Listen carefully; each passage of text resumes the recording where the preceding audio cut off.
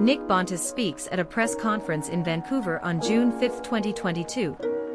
Former football president and current CONCACAF president Victor Montagliani appeared before the Canadian Heritage Standing Committee as part of its ongoing review of the labor dispute involving national teams and governing bodies.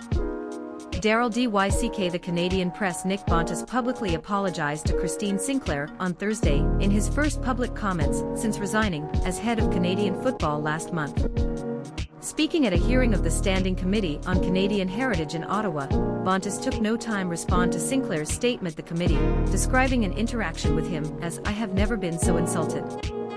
Sinclair, the leading international goalscorer in her football career, asked Bontis later on March 9, when she voiced concerns about compensation to the women's national team.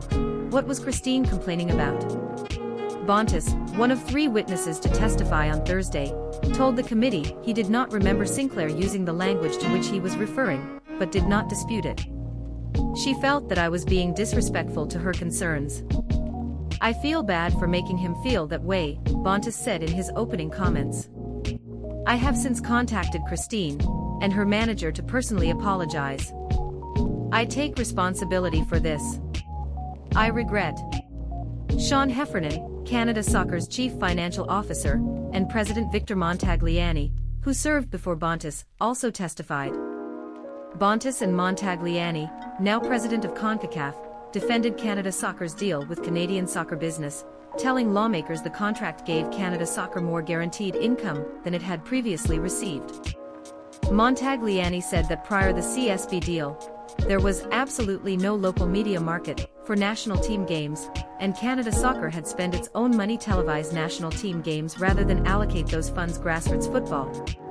CSB sponsors and broadcasts Canada Soccer and finances the men-only Canadian Premier League, for an annual payment of approximately $3 million to Canada Soccer.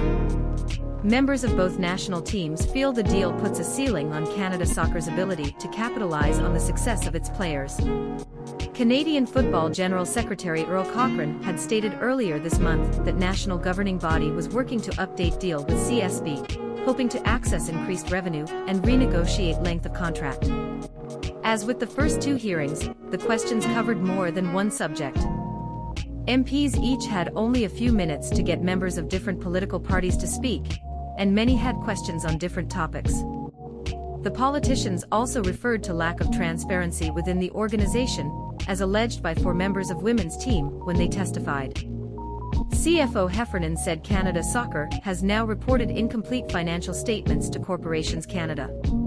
NDP committee member Peter Julian said football paying Canadian families deserve to know how the organization spends funds.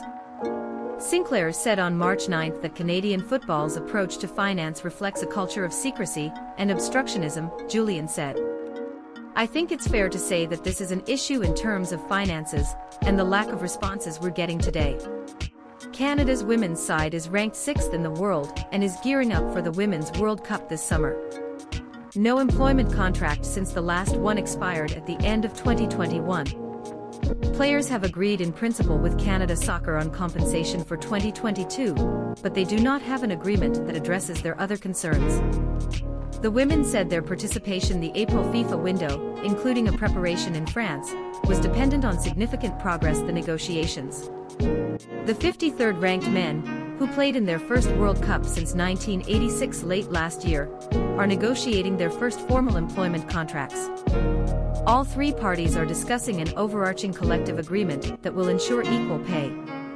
Both teams have left field protest past 12 months, men's Vancouver June, Women's Orlando February. Football hearings are part of the Heritage Committee's ongoing research on safe sport in Canada. Lawmakers surveyed Hockey Canada executives in 2022, and this led to changes in the organization's leadership.